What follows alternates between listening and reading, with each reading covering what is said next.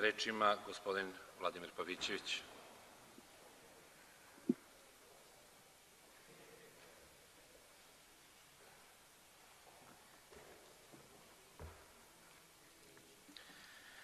Dame i gospodo, ja ću u ovih deset minuta saopštiti svoje viđenje i naravno viđenje nove stranke o reformi političkog sistema Srbije i za ovu priliku pripremio sam jedan osvrt u šest tačaka. Prva tačka se tiče ipak jedne primetbe predsedniku akcijnog tima za reformu političkog sistema. Druga tačka tiče se ustavne revizije koja je nužno u vezi sa raspravom o reformi političkog sistema i preostale četiri tačke tiču se onoga što je sadržina šestog, petog poglavlja postojećeg Mitrovdanskog takozvanog ustava, a to je poglavlje koje se tiče uređenja vlasti. I ja ću tu pokušati da saopštim ono što su izvodi iz programa reforme političkih institucija koji je nova stranka usvojila još na svojoj osnivačkoj konferenciji, kao što je rekao i narodni poslanik Zoran Živković. Najpre primetba gospodinu Babiću, ta primetba se tiče formalnih aspekata, delanje akcione grupe za reformu političkih, e, političkog sistema. Najavljeno je da će delovanje ove akcione grupe da obuhvati predstavnike svih parlamentarnih stranaka, da će u raspravama da budu uključeni svi i ja naravno to podržavam jer je to toliko velika i važna tema za naš politički sistem da je neophodno da svi relevantni akteri budu uključeni. Ono što je izostalo jeste i formalni pristup u smislu obaveštavanja narodnih poslanika. Ja, na primjer, sam narodni poslanik koji nije dobio nikakvu formalnu informaciju o tome da je formirana ova akcijona grupa, a da dodam da je nova stranka parlamentarna stranka, a rečeno je da parlamentarne stranke sve, da će da imaju predstavnika u akcijnom timu, mi nemamo predstavnika i ja mislim da je to veliki propust koji upućujem predsedniku akcijnog tima za reformu političkog sistema.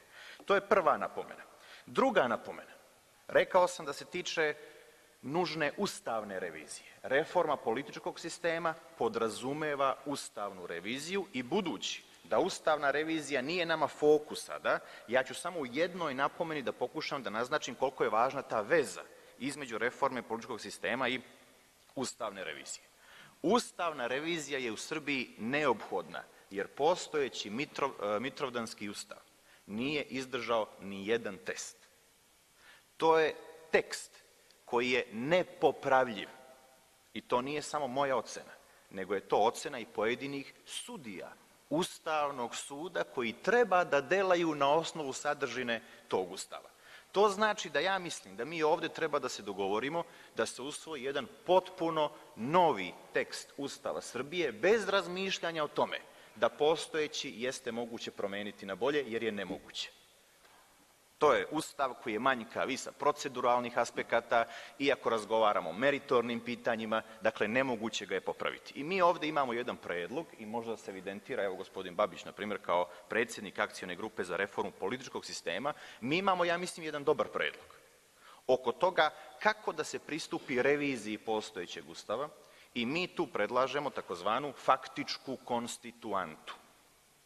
Faktička konstituanta podrazumeva sledeće, da mi građanima naše republike uoči parlamentarnih izbora saopštimo da će prva stvar koju će narodni poslanici u novom sazivu uraditi biti rasprava i usvajanje predloga Ustava Srbije o kojem će se prethodno raspravljati u relativno dužem vremenskom periodu, da kažem, koji će biti usaglašen kada se tiče učešća u toj raspravi velikog broja zainteresovanih aktera, a da nakon što u novom sazivu taj ustav bude usvojen, narodni poslanici u tom sazivu redovno nastave da obavljaju svoje aktivnosti u Narodnoj skupštini Republike Srbije. I ja mislim da je to takođe jedna važna stvar koju možemo ovde da zabeležimo.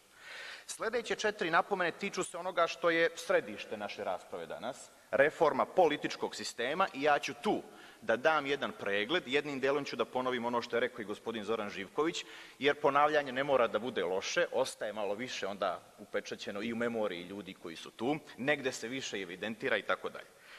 Reforma političkog sistema podrazumeva reformu političkih institucija.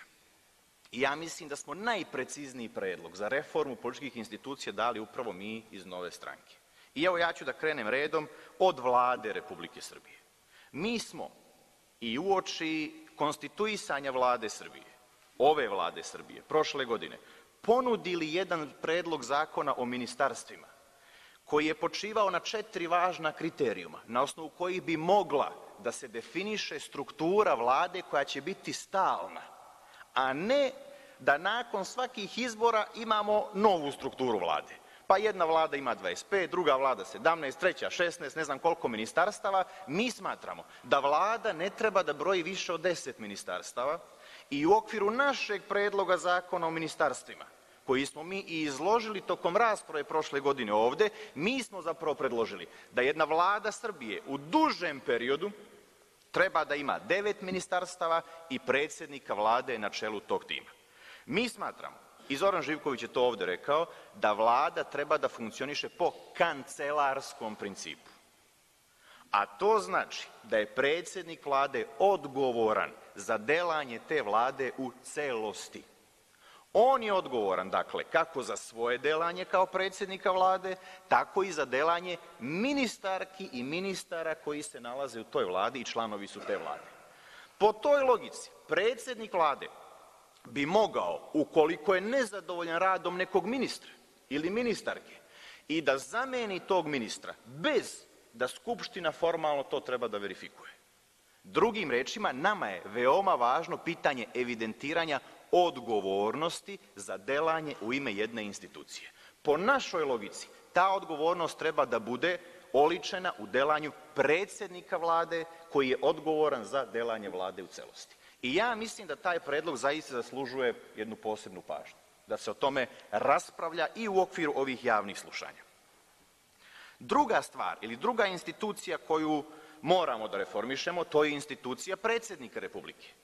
Mi imamo jedan nelogični politički sistem kod nas danas i u pogledu nadležnosti i načina izbora.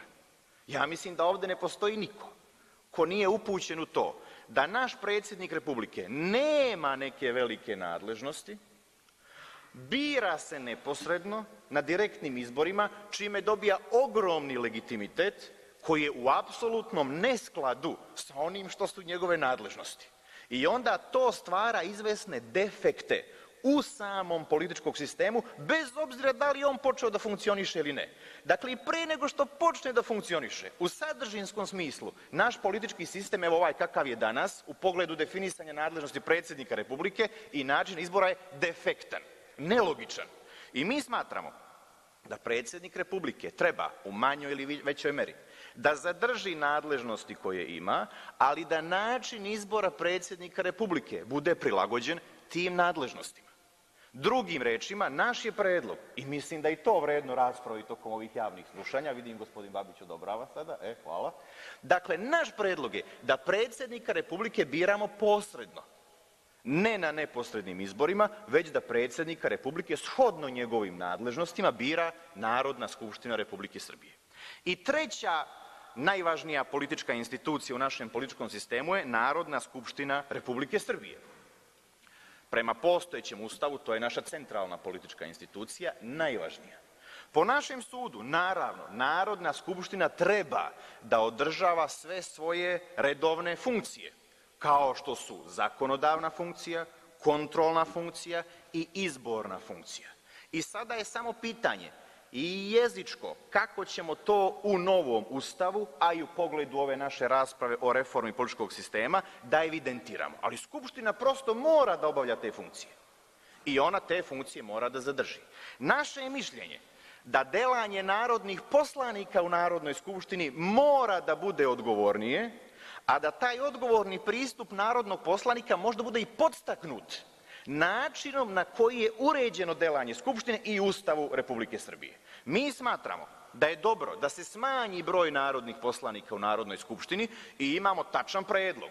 Nema sada da se misli je li 100, je li 125, je li 150 ili 175. Još jedan minut imate. E, hvala mnogo. E.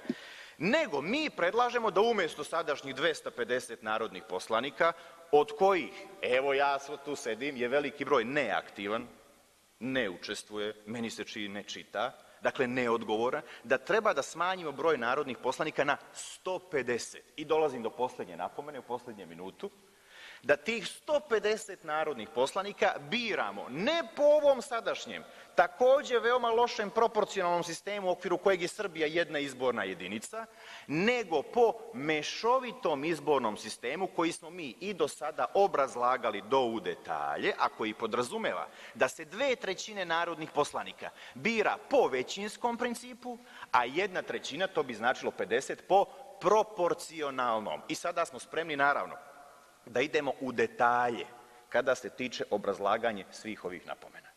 Hvala. Zahvaljujem se gospodine Pavićeviću.